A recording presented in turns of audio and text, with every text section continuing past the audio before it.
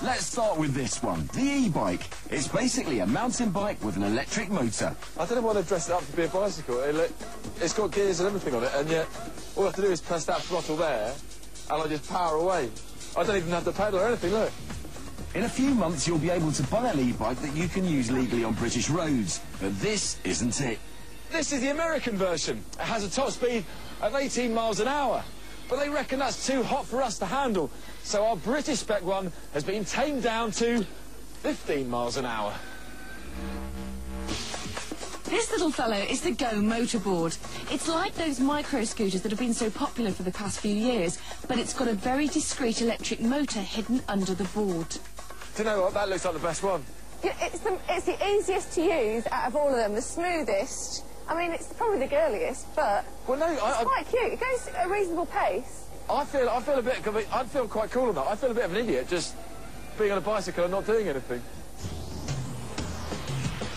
The e-skate may have a tortuously trendy name, but this powered skateboard is actually a lot of fun, despite being the slowest toy we've got here today.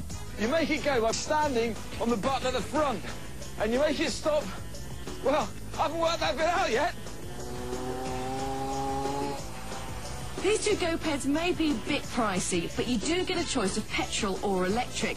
You also get disc brakes and a top speed of 30 on the petrol version. You do know these can go off-road, don't you? Uh, I've heard, Suzi. Shall we go as the crow flies? Follow me, let's give it a go.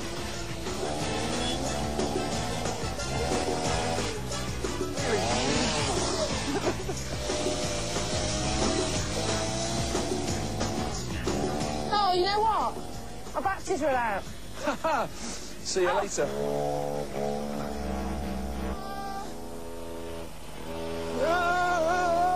Yeah, looking good, Simpson. Yeah, let's leave it to the experts.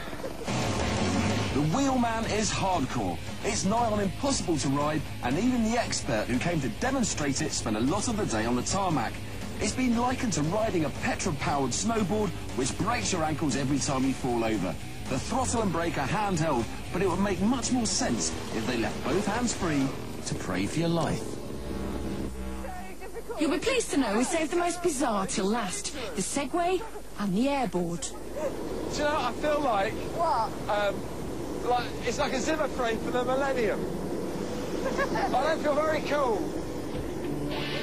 As the Segway neared its launch back in 2001, all the hype told us that the world would be changed forever and that a new era of transport was dawning. The weirdest thing about this is you've got handlebars that aren't for steering. You steer by a little collar here.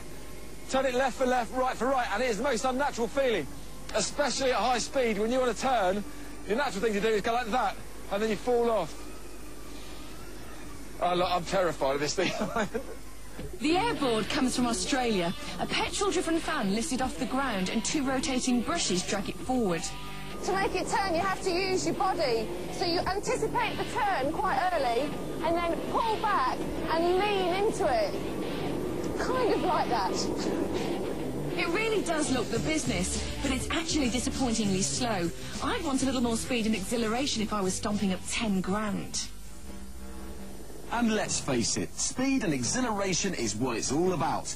And so a day of testing all these devices could only really come down to one way of choosing our favourite. A race. Eight well-padded riders on eight expensive toys. One lap of the karting track. Place your bets, please.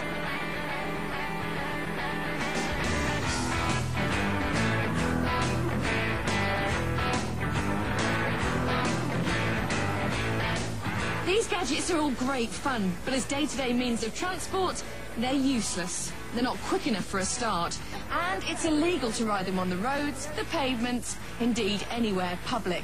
Just for the record, the petrol GoPed that I was riding came home first, but quite frankly, I think we need to look elsewhere for our ultimate personal transport.